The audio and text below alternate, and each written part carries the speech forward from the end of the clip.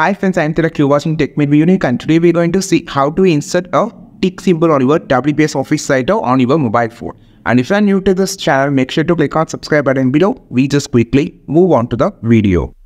So how to insert tick symbol on your WPS Office Writer mobile, just going to show in this video. So first of all, just open a blank document show and just click on this icon option and if you're just going inside the insert option you can't find any insert symbol option here because WPS Office Writer Mobile doesn't have any insert symbol option here.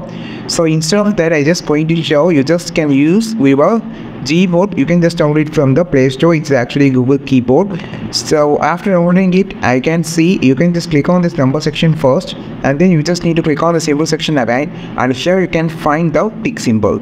So this is one of the way that you can insert the tick symbol. The second way click on this emoji option. Just search as tick show. Just type as tick and you can find a tick symbol. And you can find different type of tick symbol here so you can find different type of tick symbol. This is the two way this is the two way that you can just insert tick symbol on your WPS office Writer mobile. I think this video helped you a lot like this video share this video subscribe to this channel. We will meet our next video with a super valuable content. This is tilak signing off from Tech Made Me unique. Have a wonderful day